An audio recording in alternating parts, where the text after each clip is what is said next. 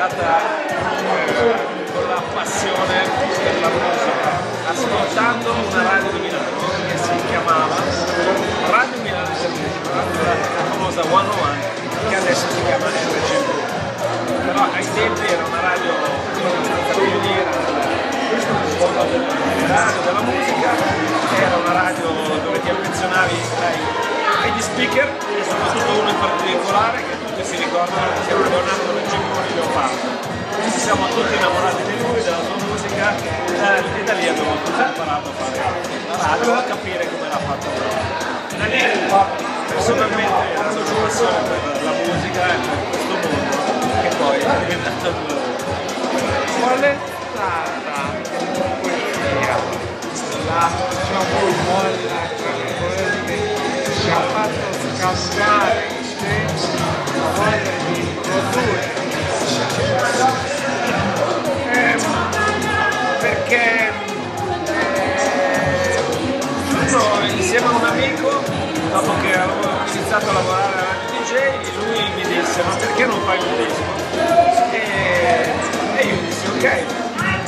disco ma come funziona? Lui mi dice no, fai studio e fai quello che ti senti. Allora siccome io ho già la passione, avevo già degli idoli o comunque delle, delle- dei gruppi o dei cantanti da seguire, sono andato in studio e ho realizzato la mia prima canzone che era una cover una- una- un'opera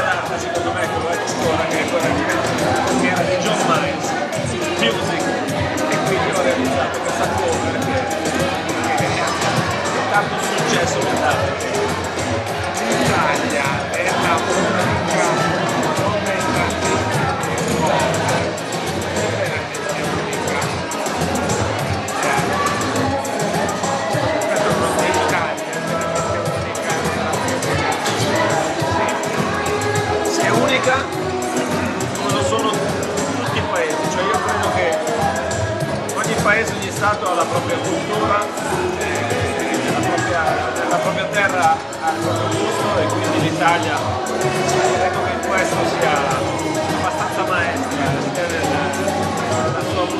locale e nel produrre.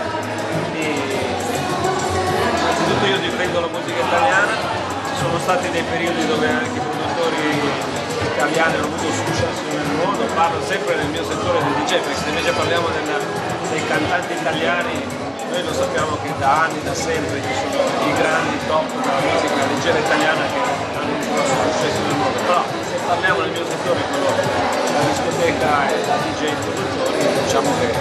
stati dei periodi dove andava bene perché producevamo tanta bella musica, adesso siamo in un momento dove magari ci stiamo un attimo chiede, andiamo spesso comunque alla ricerca della musica passata. musica. Passata. Ah sì, questo è un classico perché mi ricordo che quando iniziai io a produrre musica sono andato a prendere, come dicevo prima, una cover. Ma la storia della cover esiste, esisterà sempre, non a caso parlando di produttori italiani che stanno, stanno avendo successo un po' all'estero, ci sono questi ragazzi di Milano che si chiamano SDJM che hanno avuto un grosso successo con una cover dei Backstreet Boys. Quindi la cover comunque esisterà sempre. Però diciamo che ci sono tanti produttori e anche DJ internazionali che, che vanno a, a pescare qualche nota o qualche, o, o qualche diciamo, eh, passaggio di un noto disco vecchio e lo riusano utilizzando in un'altra maniera. E questo devo dire che David Guetta è un Si chiede, ti piace, tra virgolette, toccare la musica. Suonando vinile? Sì, molto perché sono nato con i vinili dispiace un po' non maneggiare più i vinili perché mi divertivo tantissimo. Devo dire che la tecnologia avanza e sono a favore della tecnologia che avanza e quindi io mi sto adeguando alla tecnologia, tanto che in questo momento io lavoro con una chiavetta USB o addirittura anche con la SD, quindi le schede. Sono comode e anche grande il tuo rapporto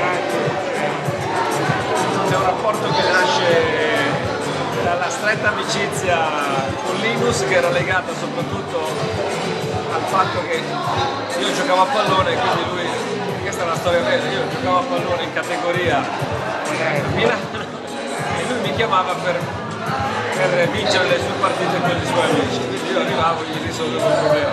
Però è anche vero che lui, io conobbi Linus tramite la radio di provincia di Milano insieme a Radio Super Antenna Monza dove io lavoravo e lui venne a lavorare per un periodo di tempo siamo diventati amici e dopo un po' di tempo, dopo che per tanti mesi io mi stavo addosso dicendogli fammi fare questo lavoro, fammi questo lavoro, lui mi chiamava e mi disse vuoi venire finalmente a lavorare a Radio DJ? Ok, vieni. E da lì iniziò il rapporto con Radio DJ che poi sta andando tuttora avanti. Quanto tempo impieghi nel palinsesto Quanto tempo impiego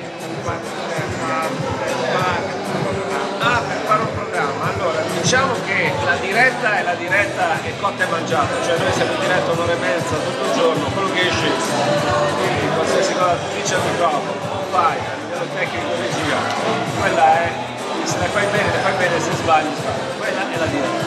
Poi diciamo che io monto, realizzo la DJ Parade, che è la classifica della DJ che vengo del sabato dalle 2 alle 3, con la voce di Albertino e lì diciamo ci sono più step, c'è la registrazione della voce di Albertino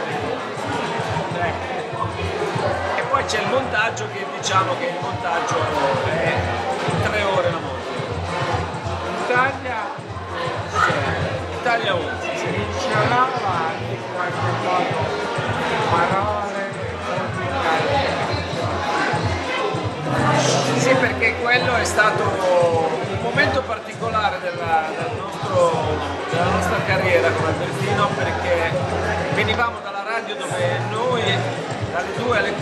mettevamo in onda, avevamo il coraggio di mettere della musica che le altre radio non mettevano, quindi era anche per altri inascoltabile, per noi invece era molto simpatica la cosa e forse il nostro successo è stato dovuto anche a questo. Però quando ci siamo resi conto che siamo stati chiamati da una tv per andare in onda fare un programma dalle 2 alle 4, abbiamo capito, 1 abbiamo capito che forse non era il caso di continuare a mettere quella musica lì, ma di cominciare a guardare, della musica che ha- acchiappasse tutti e che tutti conosciamo. Quindi ci siamo un attimo addolciti. ti chiedo, a tuo pensiero, che persone hanno ancora tempo per ascoltare? Sì. Sì, perché è cambiata il metodo, la musica l'ascolto. Adesso i ragazzini, non è una battuta ma è roba vera perché l'abbiamo sentita più di una volta questa cosa, i ragazzini quando tu gli dici noi trasmettiamo a radio DJ, i ragazzini ti dicono ah dove si sente? Questo è, siamo arrivati a questi livelli, i ragazzini sì, ma non lo sanno che una radio, una radio non, sanno, non sanno che si sente in FM e non sanno questa cosa. Allora quando gli dici c'è un'applicazione, ah c'è un'applicazione, ok. I ragazzini ormai sono sul cellulare, Spotify a manetta, YouTube a manetta, ma cosa ascoltano, cosa vedono? Musica c'è la metodologia. Ho letto lo tuo censo primo libro degli studi della media del Sì. 1990. Ne parli?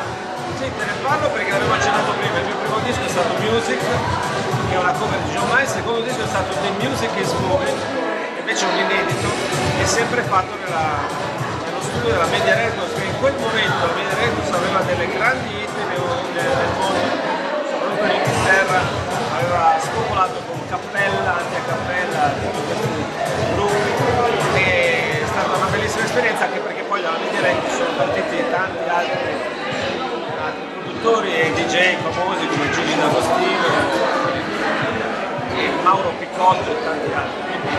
In quel momento io ero in uno studio migliore d'Italia dove si poteva produrre. Una domanda che faccio a un genitore.